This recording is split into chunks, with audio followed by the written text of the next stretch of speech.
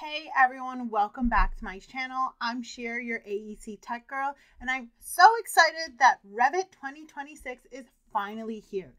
In today's video, I'm going to review my top 10 features of Revit 2026, so let's dive in. First up, Revit 2026 brings a huge win for documentation workflows. You can now save view placements on sheets and reuse them across multiple sheets. That means your elevations, plans, sections, all types of views can follow a consistent layout automatically. So this is going to be super useful for maintaining standards and reducing manual sheet setup. So here, for example, I have my view on my sheet. And when I select that view, I now have some new options here for positioning and view. You're able to save positions, manage positions, and specify the view anchor. For example, maybe I want the view origin, center, top, left, right, bottom left. Let's pick top left. And then simply select to save the position. It will then prompt me for the name. And now when I go to other views, I can select them and specify that saved position. And if I ever need to change that saved position, I simply hit edit position and then move it where I want the position to be hit finish, and all other plans with that position will align. The second improvement I want to uncover is for walls. This allows you to directly generate walls from rooms or segments of rooms. When you go to create a wall, you'll be able to select from any wall type just as you did before. And now at the top, you'll be able to see two placement options, placement by room and placement by segment. So for example, if I wanted to add, let's say, a tile to my bathrooms, I can simply select place by room, select the room, and you can see it highlights the entire room, and it adds that interior wall to the room. See it again? Here. Alternatively, I can also place by segment. This allows me to only select a segment of a room. So if I only wanted to place this new tile finish on one wall, I simply select that one wall. One more time, let's do it over here. Select that one wall, and there you go. It added that tile wall to that segment.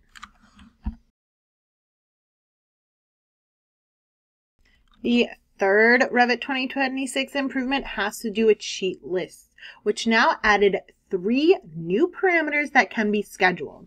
Scale, sheet height, and sheet width.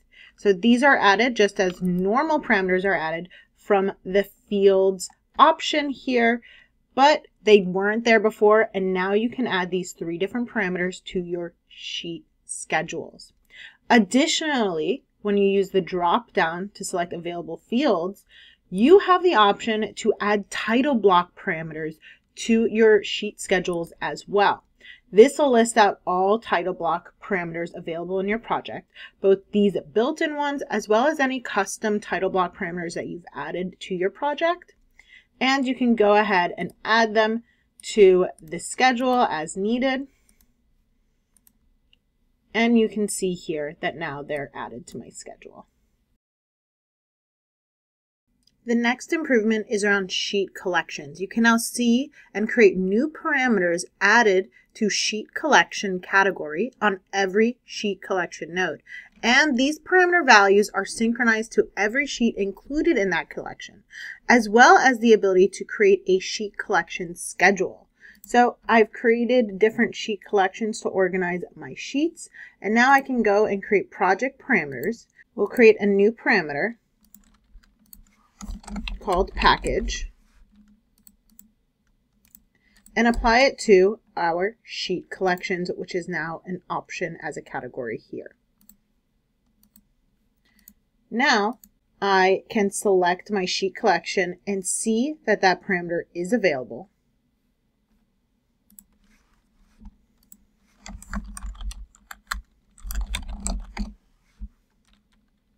And this will be applied to all sheets within that sheet collection as well. We also have the ability to create sheet collection schedules. So when I go to create a schedule, sheet collection is again a category available. And I can add any custom parameters that I've created in my project for sheet collections. And again, that is translated to all sheets within each collection.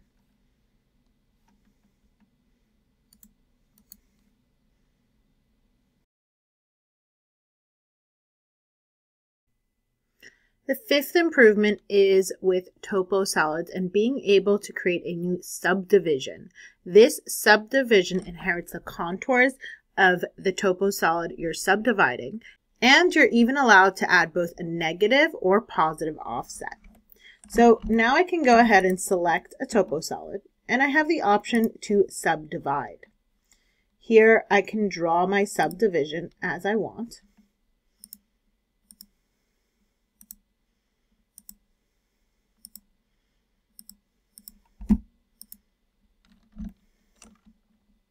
and you can see the subdivision was created.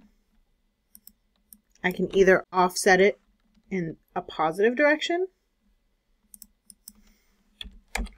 or in a negative.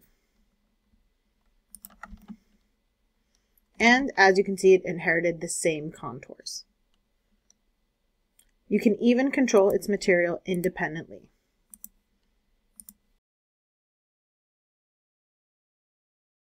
Improvement number six also has to do with topo solids. So in previous releases, you could not copy and paste points and lines when shape editing.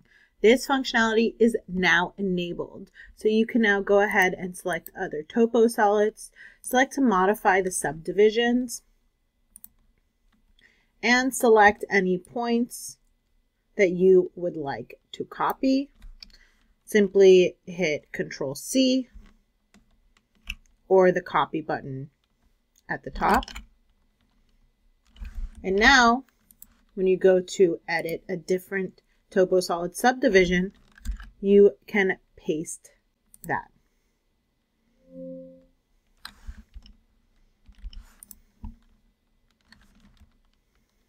There you go.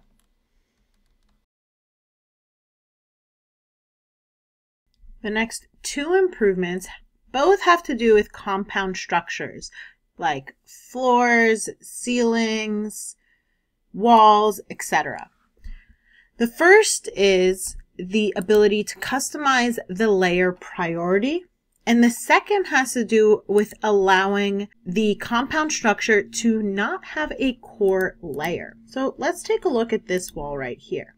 I can now edit this wall and its structure and move the core layer outside of the core boundary. So I no longer need to have a layer within this core boundary. This is going to be really useful when creating finishes or other types of walls.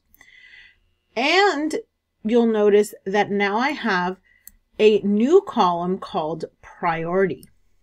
This allows me to modify the priority, which will modify how these walls get joined. For example, I could have a priority here of 2 and a priority here of 4. And we can see how that gets modified. And those are the improvements to compound structures.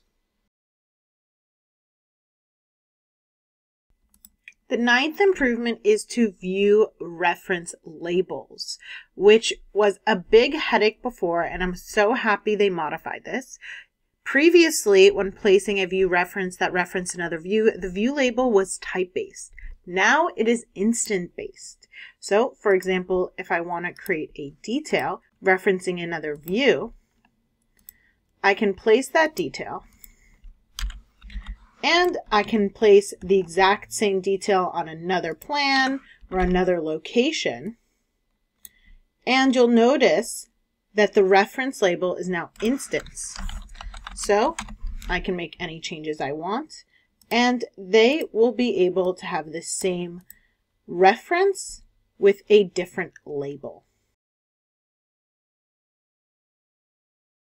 And last but not least is the Accelerated Graphics Tech Preview. You can now experience a significant navigation performance improvement in both 3D and 2D views, helping you to review your designs faster.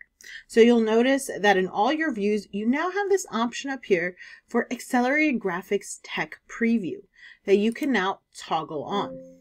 You'll get a warning, click OK, and this will enhance your graphics. So you'll be able to navigate your views faster and see things more clearly.